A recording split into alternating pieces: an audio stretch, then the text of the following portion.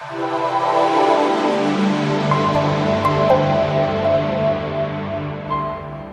presupuesto del gobernador Chris Christie devastaría las escuelas de Patterson porque reduciría 213 millones de dólares.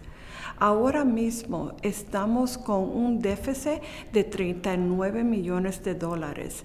Sin embargo, el plan de reforma del, del, presidente del Senado, Steve Sweeney, y la senadora Ruiz traería a las escuelas a un presupuesto completo.